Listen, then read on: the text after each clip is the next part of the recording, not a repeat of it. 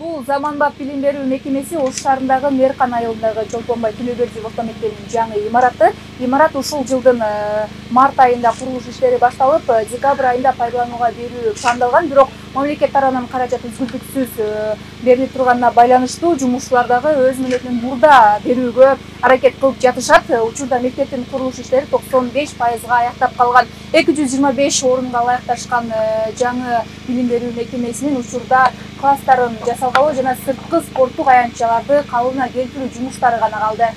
Буга чейин окуучулар эки миң сегизинчи жылы курулуш нормалары толук сакталбай салынган кооптуу имаратта окуп келишкен. Айрыкча кышында ар бир класста жайгашкан мештерде от жагылып ысытылып өрт коркунучун шарттап келген. Анын үстүнө эски мектепте төрт жылдыкка чейин гана билим берилчү. Мунун айынан балдар бешинчи класстан ары коңшу айылдагы мектепке каттап билим алышчу. Э, мээркан айылына жаңы мектеп салынып жатат ушул биздин көйгөйлөрүбүздүн баардыгы ушул жакынкы арада ушул жаңы мектебибиз ишке берилет.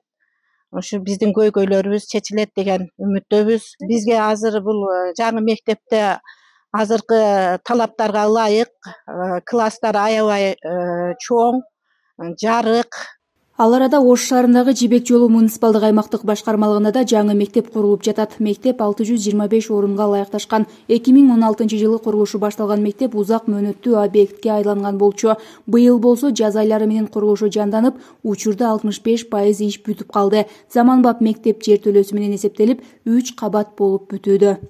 Жеринде азыркы учурда э, баардык нерсени параллельно алып кеткенге аракет кылып жатабыз монолитчтер иштеп атат э, техникалар класстар иштеп атат.